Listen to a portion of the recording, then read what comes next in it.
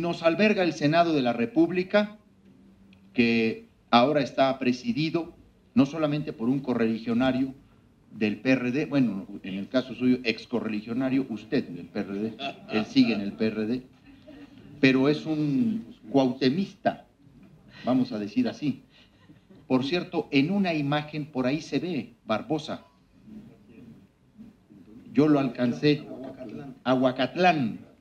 Ahí se ve Miguel Barbosa. Aguacatlán.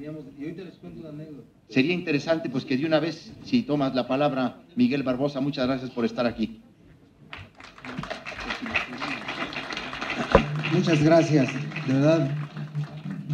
Quiero primero agradecer, porque es lo que debemos hacer los políticos de izquierda, las políticas de izquierda, agradecer a Alejandro Lubensky por haber dedicado su tiempo, su capacidad, su esfuerzo en construir este documental.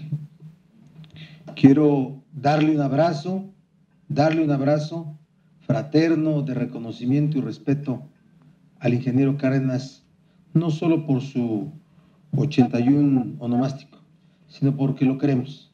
Lo queremos todos quienes hemos andado con él por muchos años. Y un aplauso al ingeniero Cárdenas.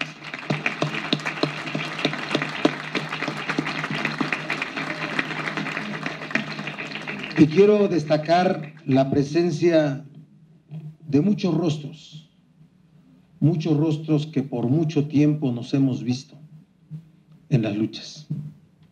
De verdad que sí. La emoción con la que hemos vivido muchos momentos.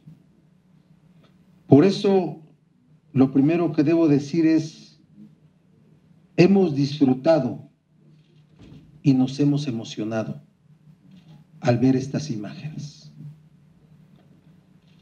Ver imágenes de tiempos de atrás siempre emociona para ver cómo estábamos, cómo nos veíamos, qué hacíamos.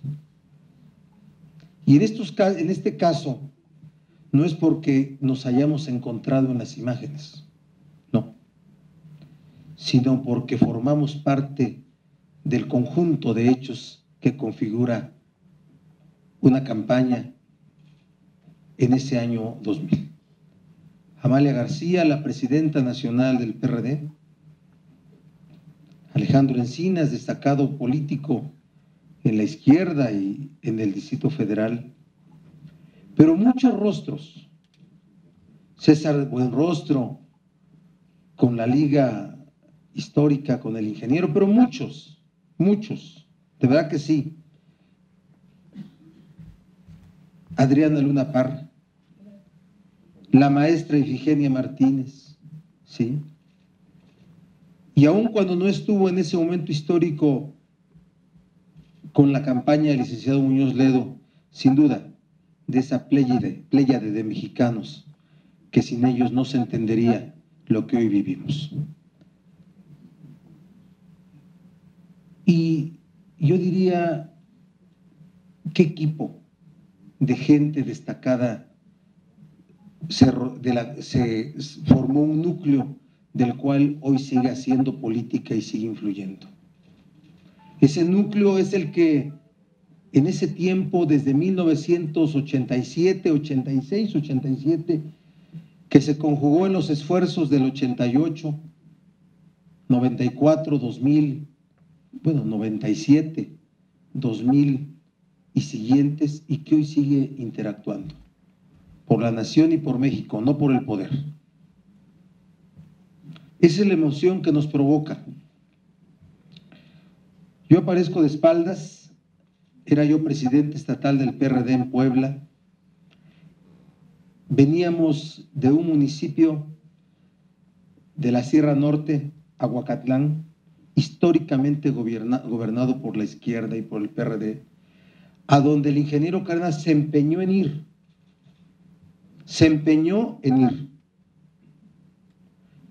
Esa es la idea de un hombre congruente, leal a la visión que tiene del país que, que debió haber gobernado. Yo recuerdo yo recuerdo, y lo voy a decir como una confesión, cuando íbamos rumbo a Huacatlán, yo iba una camioneta de guía. Atrás venían los camiones, las camionetas. Y estaban los niños típicos de los caminos rurales con sus cuerdas, eh, que piden un peso porque están tapando un bache. Sí les ha tocado, ¿verdad? Sí. Y llegamos, yo en la camioneta de adelante, y les digo, les doy el peso o un poquito más, y les digo, saluden porque ahí viene el próximo presidente de México. Y desafortunadamente me contestan, y disculpen que voy a utilizar hasta el tono, ahí viene Fox. Ya había llegado la televisión. Fox nunca supo ni sabrá que existe que existe el municipio a donde íbamos. Nunca. Nunca. Pero ahí se reflejó el papel de los medios masivos de comunicación en el impacto en la conciencia a votar. Fuimos al municipio un mitin lleno, repleto, repleto, y después nos fuimos a comer a una bodega baja que era de cultivadores de café mole.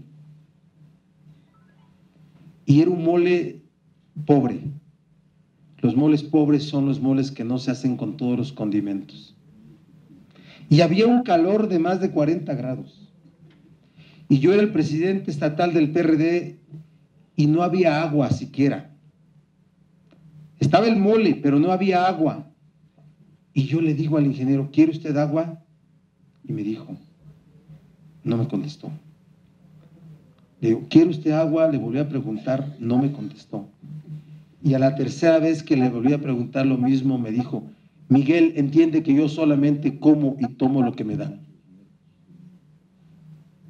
Enseñanza de vida para mí. Después llegó el agua, los refrescos y la cerveza.